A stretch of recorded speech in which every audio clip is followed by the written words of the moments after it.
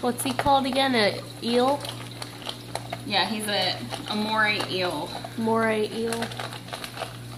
Ooh. Are those little fish swimming around him?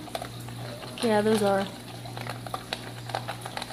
Well, these are snails, Oh, but there are little fish in there. that's so cool, man. Yeah, Wednesday when you come out, me and mom are probably cleaning out the turtle pool because it's real dirty. Yeah. Yeah. Oh, and I told mom now that it's getting cold and the mosquitoes are gonna disappear, that